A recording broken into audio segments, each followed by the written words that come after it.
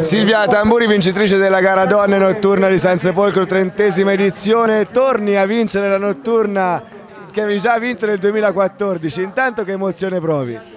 Beh, è un'emozione grandissima, anche perché quando l'ho fatta quattro anni fa non, non mi ero resa conto dell'importanza di questa gara, quindi oggi la vinco con più soddisfazione perché capisco che è una gara che vincono diciamo, le top runner, quindi mi dà una grande gratificazione vincere oggi. Un primo giro a grande velocità e poi hai preso il largo, dai. Mamma mia, sì, ho fatto questo primo giro davanti a tutti che è stata un'esperienza bellissima perché una pristrada non l'avevo mai fatto davanti agli uomini. Quindi bellissima esperienza, ma diciamo è stato un po' pagato poi successivamente. Diciamo una scelta non dovuta a me, ma l'altra ragazza che mi è partita un po' forte e io a stare dietro non mi andava.